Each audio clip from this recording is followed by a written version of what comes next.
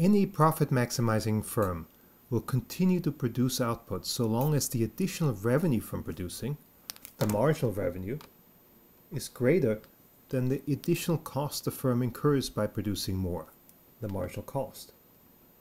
So a profit maximizing firm is going to stop producing when marginal revenue is equal to marginal cost. For a price taking firm, for instance, the second step of two step profit maximization told us that the firm is going to stop producing where price is equal to marginal cost. That's a simple application of the rule that marginal revenue has to be equal to marginal cost. Because for a price taking perfectly competitive firm, marginal revenue is equal to price. Each additional unit produced can be sold at the market price. We're now going to turn to profit maximization for a monopolist. A monopolist who faces a downward sloping market demand curve from which we can derive the marginal revenue curve. When the demand curve is linear, the marginal revenue curve has the same intercept and twice the slope. Now the monopolist is going to do profit maximization in the same two steps as what we did for the price taking firm. In the first step, the monopolist is going to calculate how much it's going to cost to produce different units of output. And that's going to allow the monopolist to derive the marginal cost curve. Now the good news is that deriving cost curves for monopolists is exactly the same as deriving cost curves for perfectly competitive firms, as long as those firms are price takers in the input markets, the markets for labor and capital. That's because when we figure out how much it's going to cost to produce, the price that's going to be set has nothing to do with that. That comes in the second step of two-step profit maximization. When we figure out the cost curves, we're just trying to figure out what are the best bundles of labor and capital to use to produce different levels of output and what are they going to cost?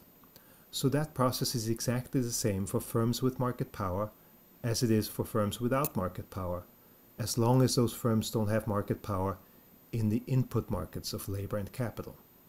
So we already know how to derive those cost curves from the underlying production functions. It's in the second step that things are different for the monopolist.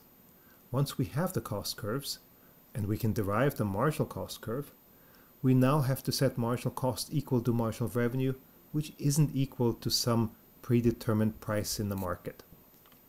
So what's missing in the picture then is our marginal cost curve, the result of that first step of two-step profit maximization.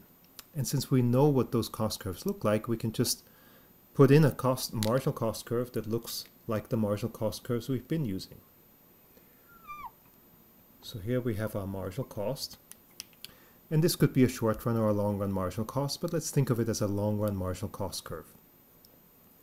Now we can apply the rule that we use in the second step of two-step profit maximization. Marginal revenue has to be equal to marginal cost at the output level that we choose. Well, that happens where marginal cost intersects marginal revenue. So the monopolist is going to produce this quantity, the monopoly quantity, and then sell that quantity at the price that the demand curve tells us we can sell it at. So this will be the monopoly price.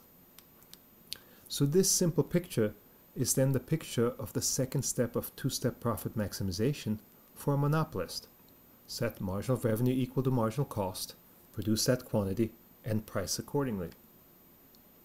We can also see in that picture where the profit for the monopolist lies if there are no fixed costs. There's nothing in the picture that tells us anything about fixed costs because marginal costs don't contain fixed costs. But if there are no fixed costs, then the marginal cost curve tells us all of our costs. So to figure out the total cost, we would just take the area underneath the marginal cost curve. The cost of the first unit, the additional cost of the second unit, the third unit, and so forth. When we subtract that area from our total revenue box, we get this area in here. So that becomes the monopolist's profit if fixed costs are zero. Now if there are fixed costs, we'd have to subtract those from that area to come up with the firm's profit. Or we could go to the average cost curve that does include fixed costs. If we did that, we'd have our demand curve this picture tells us the monopolist is going to produce this quantity. So that's the monopoly quantity and the monopoly price. So we're just not replicating the marginal revenue and marginal cost curves, but they're intersecting at this quantity. And now we can put in our average cost curve. Now if our average cost curve crosses the demand curve, so it looks something like this, then the average cost of producing this monopoly quantity will lie below the price the monopolist can charge. And now we can see the total cost including the fixed cost, just the average cost times output, because the average cost curve contains fixed costs.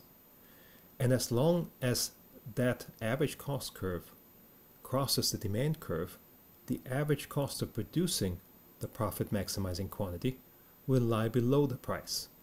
So average cost times output gives us total costs. Price times output gives us total revenue.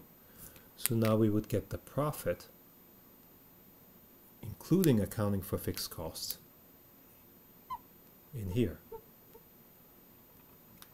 The only way the monopolist cannot make a profit is if the fixed costs are so high that the average cost curve lies above the demand curve. If the average cost curve lies above here, then at the quantity that occurs where marginal cost intersects marginal revenue, the average cost would lie above the price. So the total revenue box would be smaller than the total cost box, and the firm would be losing money, would be making a negative profit by producing where marginal revenue is equal to marginal cost. But as long as fixed costs aren't so high that the average cost lies above the demand curve, the rule that the firm should produce where marginal revenue is equal to marginal cost will give us the profit maximizing quantity to produce, and then we can simply read the price off of the demand curve.